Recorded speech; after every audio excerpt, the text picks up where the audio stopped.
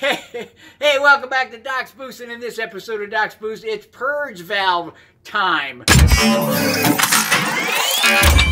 Well, I'm throwing a code, a P0443 code. It's all about the purge valve. Now, it said it could be any number of things. It could be the circuits or the hoses and leaks and all that kind of stuff. Um, it's been kind of intermittent. Sometimes the engine light will be on, sometimes it's not, but as soon as I get on it, it's going to pop on there. So something in that stream is not working the way it should be. I did a physical inspection really quick and everything looks perfect. So I just went and bought me a purge valve for about 60 bucks at the parts store and I'll share the part number with you and I'm going to install that purge valve right now. But before we get started and all that, you know the drill. Make sure that you click the like button, subscribe, and ring that bell to set notifications for all the new stuff coming your way. Leave some comments down below right here on YouTube about your journeys with upgrades and maintenance and modifications. Share it with the rest of the community because it really does matter and I appreciate your support. What we're going to be doing down here is remove this cover to inspect the connections for hoses and wiring, that's an 11. That's an 11. We've got a couple of bolts here.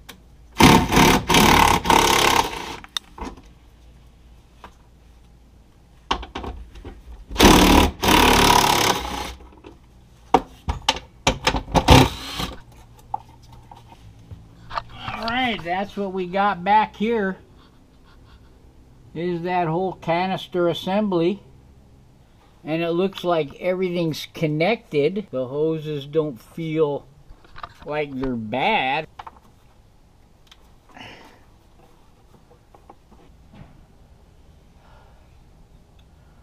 No liquid in there, and that's what I was after to make sure there was no liquid in there.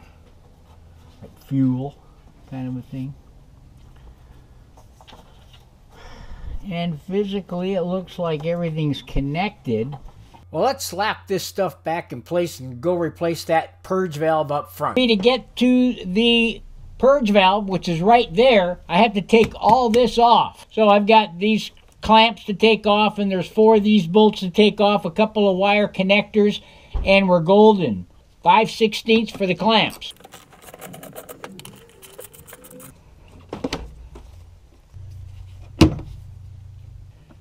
And the locks and the lock. There we go. And no, I need, well, I should get this out of the way.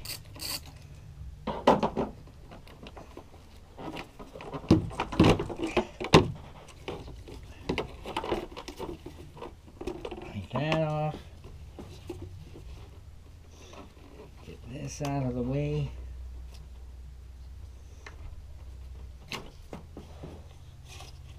All right. We're going to take the clamps out of the way.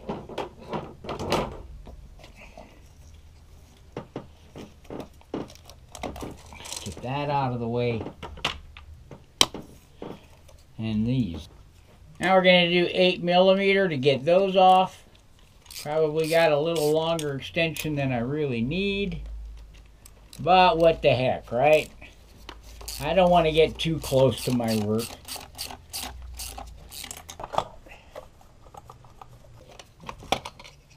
After the throttle body, then all we got to do is get the elbow off and we'll be home free on accessing that purge valve. You just gotta get monkey biscuits. Yeah, I was supposed to get her some. I told her off. I didn't say that. So that's just... exactly what you said. well, well, I gave her that fuck off look. I'm sure you did. and I conveniently forgot. I had to go to Ford.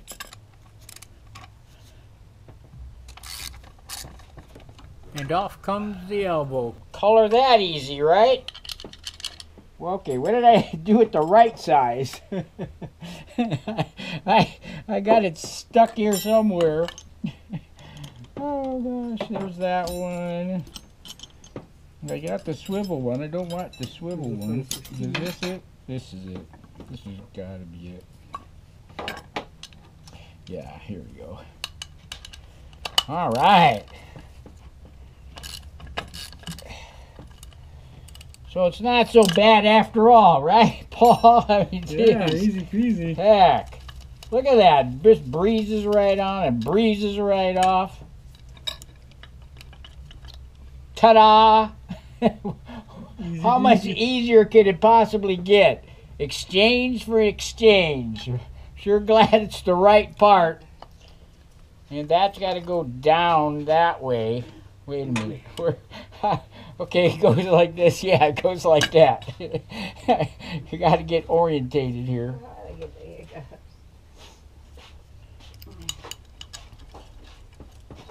Got that on. And I have no idea. I think it was this bolt right here. I hope it is because that's the one I'm going to use.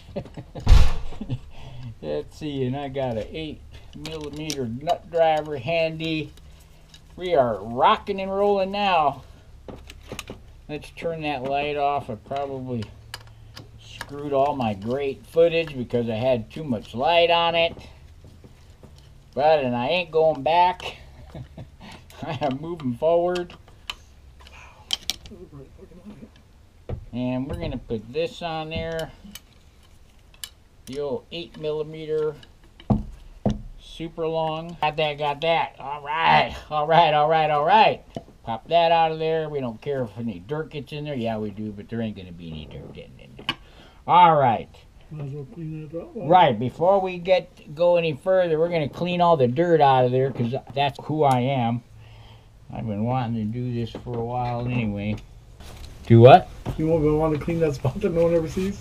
Yeah, I want to clean that spot that no one ever sees because I know it'll be dirty. Sweet. Man, it looks so much better in there now. Don't you think? Oh, yeah. No. All right, here we go. No, that's not first. This is first. Still got the seal in place.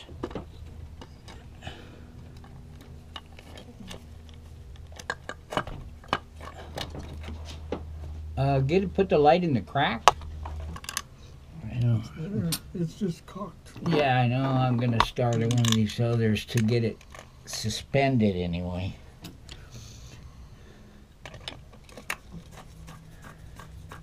Okay, get it started. It was pretty easy going. Oh yeah. Oh yeah.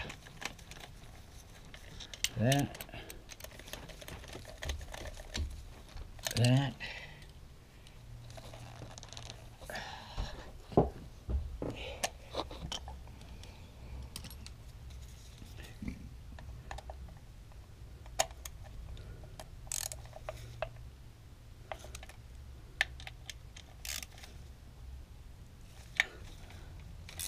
Sure glad my fingertips have eyes.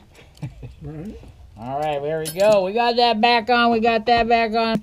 Let's just put this stuff back together. Get that. Just make sure that we got the connector here. We're going to put the connector on. It is up all the way. There's that. Oh, that's for the throttle body. I was thinking, whoa, whoa, what did I do there? Get that clip, put this clip on there. Put this in there, ready to rock and roll. I'm gonna pop that in there and clip it in place. Ta-da, we're there. Got that, got that. Electrical connector, that's in place. Put this back on here.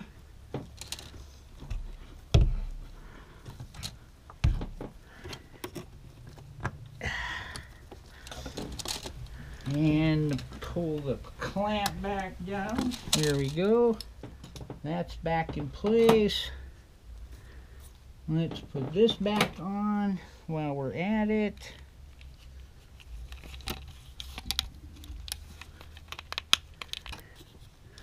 Looking good. Big old Whipple 68 millimeter.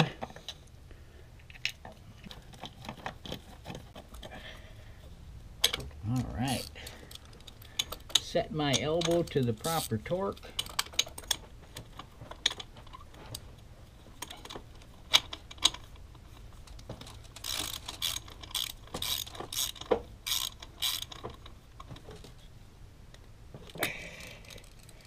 Okay, they're all even Steven.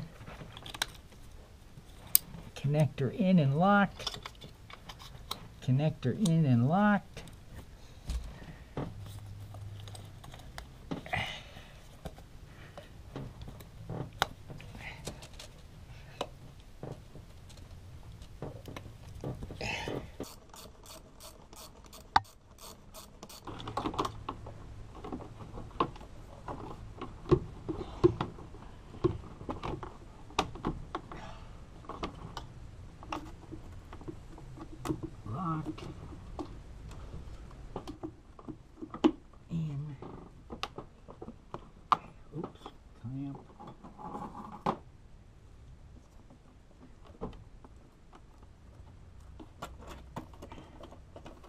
When you're tightening the clamps on the cold air you want to make sure that you don't over tighten them because you could distort the tube and you probably won't get a good seal and there's also a possibility of cracking that tube.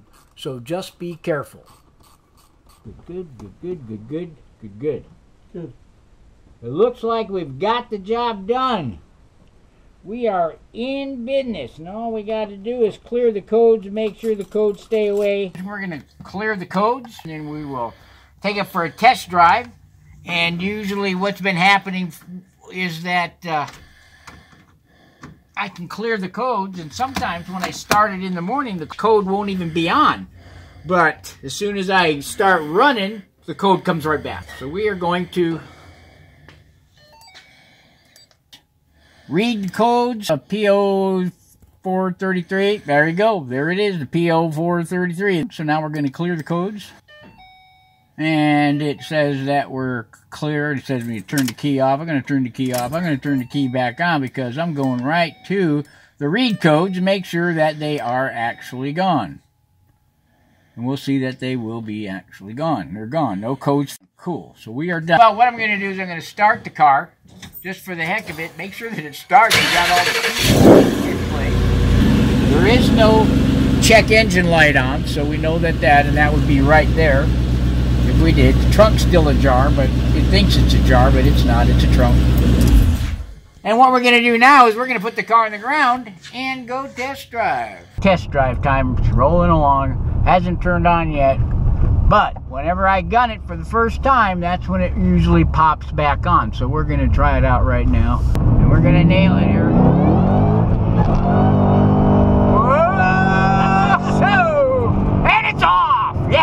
Off. So purge valve is successful. It was just that easy. It was just that easy. And you can keep the excitement alive by clicking on the video that I selected for you right there. And I'll see you in that video in just a few minutes. But before you go there, subscribe, like, and ring that bell because it really does matter and I appreciate your support.